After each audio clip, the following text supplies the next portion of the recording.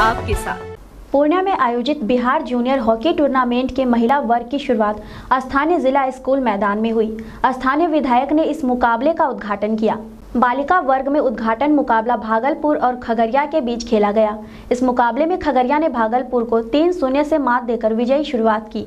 खगड़िया की तरफ़ से के के रानी, नवनीत कौर और नेहा परवीन ने एक एक गोल मारे। महिला वर्ग का यह टूर्नामेंट 11 अप्रैल तक चलेगा, जिसमें 10 टीम खेलेगी। इस वक्त हम खड़े हैं पूर्णिया के डीएसए ग्राउंड में, जहाँ आज Bihar state junior hockey tournament का उद्घाटन मुकाबला महिला वर्ग का होने वाला है। और इस मुकाबले में दो टीमें आमने सामने होंगी, खगड़िया एकादश बनाम भागलपुर एकादश की टीम। इस वक्त हम भागलपुर की टीम के खिलाड़ियों के साथ खड़े हैं, जिनके लिए 70 मिनट काफ़ी अहम है उद्घाटन मुकाबले में। उनके कप्तान से बातचीत करना चाहेंगे इस टूर्नामेंट की खासियत के बारे में। ये बताइए, जो जूनियर टूर्नामेंट है, इस टूर्नामेंट में बच्चों का सिलेक्शन कैसे होता है? On the basis of performance on the basis of that how genuinely they play how rash if they don't play then they they will be selected right? ये थे कप्तान भागलपुर की जो बता रही थी कि जो भी अच्छा खेलेगा उनका इस तरह से चयन होता है। आज ये राज्य स्तर पर टीम खेलने भागलपुर की तरफ़ से आइए कुछ और खिलाड़ी हैं हम उनसे बातचीत करना चाहेंगे कि इसके बाद इस टूर्नामेंट को अगर वो जीतते हैं तो इसके बाद इनका भविष्य कैसा होगा? अगर हम पूरी मेहनत करके ये स्टेट लेवल पार कर लेते हैं तो हमें नेशनल खेलना है और हमें जीतना है। बिल्कुल, ये कॉन्फिडेंस जो है, वो बता रहा है कि इनको नेशनल खेलना है और जीतना है। हो सकता है जो आपने चकदे इंडिया में देखा हो, इनमें से ही वो कोई हो जो अगले चकदे इंडिया के खिलाड़ी हो सकती हैं। कुछ और लोग हैं, हम उनसे बातचीत करना चाहेंगे कि इस तरह के टूर्नामेंट आप लोग अमूमन खेलते होगे।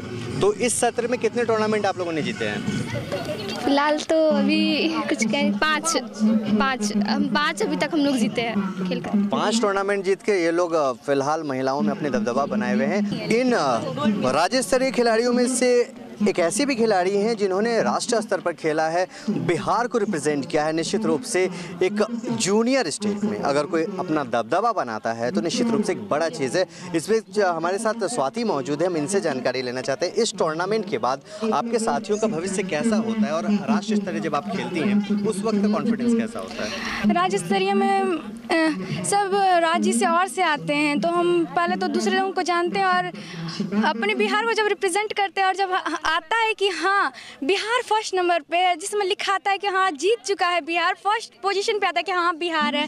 उसमें बहुत अच्छा सा गर्व, एकदम अच्छा लगता है। बिहार की वो खिलाड़ी जो खुद को गौरवान्वित महसूस करती हैं इस टूर्नामेंट को जीतने के बाद, और इनका मानना है जैसा कॉन्फिडेंस आप लोगों ने देखा इन बच्चों का, निश्चित रूप से कल के होने वाली ओलंपियन या फिर विश्व चैंपियनशिप में गोल्ड मेडलिस्ट ज़रूर इनमें से कोई ना कोई निकलेगा, ऐसी हम कामना करते हैं एस न्यूज़ की तरफ़ से।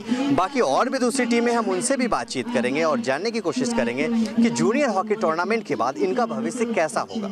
अब हम पहुँच चुके हैं खगड़िया के खेमे में ये वो टीम है जो आज भागलपुर के साथ उद्घाटन मुकाबला खेलेंगे। इस junior Bihar junior hockey tournament के उद्घाटन मुकाबले में कुछ खिलाड़ी हैं यहाँ पर जो बिहार रिप्रेजेंट किए हुए हैं कुछ ऐसे खिलाड़ी हैं जिन्हें इस बार इस चैंपियनशिप में जीतने के बाद बिहार खेलना भी है। उन सब के अलावा जो इस टीम के कप्तान हैं हम उनसे बातचीत करना चाहेंगे। इस तरह के टूर्नामेंट में आपने कितनी बार दावेदारी पेश की है इस तरह के टूर्नामेंट कम से कम हम लोग पाँच छः बार हम लोगों ने खेला हुआ है। चैंपियन रही हैं आप खगड़िया की टीम?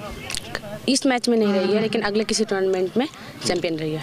अगले टूर्नामेंट में चैंपियन रहे निश्चित रूप से कॉन्फिडेंस लेवल इनका काफ़ी होगा। कुछ और लोग हैं उनसे बातचीत करना चाहेंगे।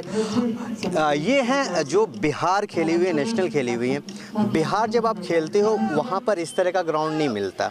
नेशनल लेवल पर ग्राउंड टर्फ का होता है अच्छा मैटिंग होता है। यहाँ पर सूखे ग्राउंड में खेलने के बाद कैसा दोनों में बदलाव कैसा रहा? ये स्टॉपिंग में सिर्फ़ फ़र्क बुझाता है। यहाँ पे किसी और तरीके से स्टफिंग करते हैं, वहाँ पे किसी और तरीके से। बिल्कुल, तकनीक में बदलाव आता है स्टफिंग करने में इन्हें थोड़ी सी परेशानी ज़रूर होती है निश्चित रूप से जब राष्ट्र स्तर हम खेलते हैं या फिर राज्य स्तर खेलते हैं तो वहाँ का ग्राउंड बिल्कुल अलग होता है, वहाँ पे खिलाड़ियों को काफ़ी कुछ मिल रहा होता है। अब देख सकते हैं, सभी बच्चों के हाथ में हॉकी स्टिक है और ये बताता है कि आने वाला सत्तर मिनट शायद इनका ही होगा, क्योंकि कबीर खान ऐसा कहा करते थे हिंदी सिनेमा में। कुछ और लोग हैं जो ये बताएँ, इस टूर्नामेंट को जीतने के बाद आपका भविष्य कैसा होगा? इस टूर्नामेंट के जीतने में भविष्य अच्छा ही होगा आगे जाके मैं और खेलना चाहूँगी। आगे जाकर ये और खेलना चाहिए भविष्य काफ़ी अच्छा होगा। कुछ और लोग हैं कुछ बच्चे हैं आ, मैं उनसे बातचीत करना चाहिए ये आपका पहला टूर्नामेंट है? नहीं दो तीन खेल चुके हैं। दो तीन खेल चुके हैं तो आप दो तीन में आप लोगों का आ, आपका परफॉर्मेंस कैसा रहा है? मेरा परफॉर्मेंस ठीक रहा है। बिल्कुल, आप ये देख सकते हैं कि कम उम्र के बच्चे जूनियर हॉकी टूर्नामेंट यहाँ पर चल रहा है। उस टूर्नामेंट में अगर छोटे छोटे बच्चे अपना दबदबा बनाते हैं तो निश्चित रूप से भारत जिस चीज़ के लिए जाना जाता है हॉकी में जो उनका दबदबा शुरू से रहा है, चाहे वो ओलंपिक हो, चाहे वर्ल्ड कप हो, ऐसे ही बच्चे हैं जो आगे बढ़कर ओलंपियन या फिर विश्व चैंपियन बनते हैं। इन दोनों टीमों के अलावा हमारी निगाहें इस पूरे टूर्नामेंट पर रहेंगी। फ़िलहाल उद्घाटन मुकाबले से दोनों टीमों के साथ हमारी बातचीत हुई, इन्होंने अपने अपने अनुभव को बताया। अपने सहयोगी तहजीब के साथ मैं तहसीन अली एस न्यूज़।